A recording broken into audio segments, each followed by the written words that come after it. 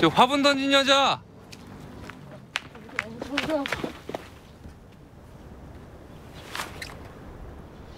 아, 예. 그냥 가면 어떡해요?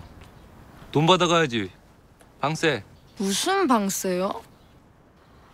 아니, 그럼 아까 문자로 계약한다던 사람이 응, 나 맞고요. 자, 25만 원 받으시고. 아니요. 방 안 내놓을 건데요. 이 여자가 진짜 장난한.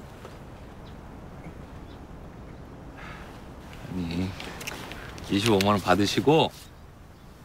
자, 가만 있어봐.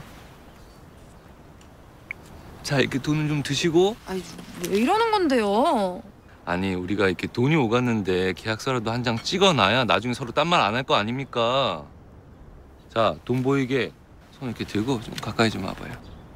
아이, 난 이런 거 원치 않거든요? 누구는 원해서 그러나? 세상이 하도 험해서 그러지. 인증샷. 자. 손, 손, 손, 손 치워. 찍습니다. 인증샷.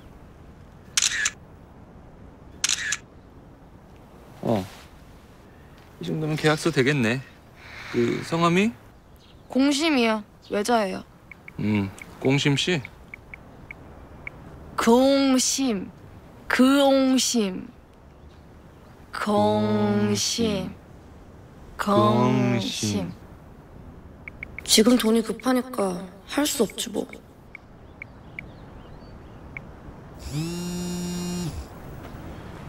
여보세요? 야, 이 썩을 놈의 새끼야, 너 뒤질래? 어? 내 전화를 씹어? 뭐? 바빠? 많이 바빠? 그러면 너 자갈밭에서도 한번 바빠 볼까? 꽤 많이 아플 텐데. 아, 저기요. 내일 아침 10시까지 짐 좀 꼭 빼놔요. 예. 아, 여보세요? 미친 똥싸 뭉개지는 소리하고 앉아. 뭐?